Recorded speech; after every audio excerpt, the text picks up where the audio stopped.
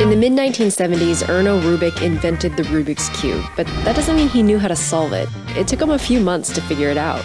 By the time the first World Rubik's Cube Championships were held in 1982, the winner, he could solve the cube in a little less than 23 seconds. And these days, well, there's a new world record holder in our area, and he's only in high school. This teenager, Colin Burns, solving a Rubik's Cube in 5.253 seconds. It's worth noting there are two types of world records. The way speed cubing competitions work is that volunteers will scramble the cubes according to instructions that are generated by a computer. So the competitors all get the same scramble. They do five solves and their three middle scores are averaged.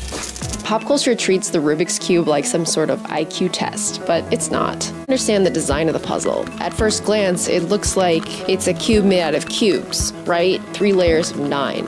But if you look closer, you'll see there aren't actually any cubes here. So that tells you that the corners will always be corners, the edges will always be edges, and the middle pieces determine the color of that face. But the real key to their speed is efficiency. There are 43 quintillion possible arrangements for the cube. A few years back, some researchers borrowed computing power from Google to find out that any scramble can be solved in 20 moves or less. They call it God's number, but humans just aren't that good.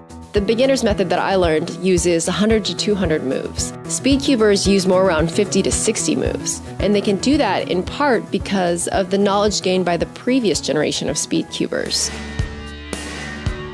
When the cube first spread around the world back in the 80s, people had to learn through trial and error.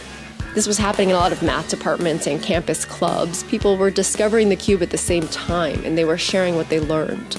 The method that Colin uses was developed by Jessica Fridrich. She's an engineering professor who was a college student at the time. The Rubik's Cube has made a comeback in recent years, along with that same ethic of sharing tips and strategies. So, all the resources you need are there. There's just one other thing practice. This is Colin nearly five years ago. World records are not built in a day.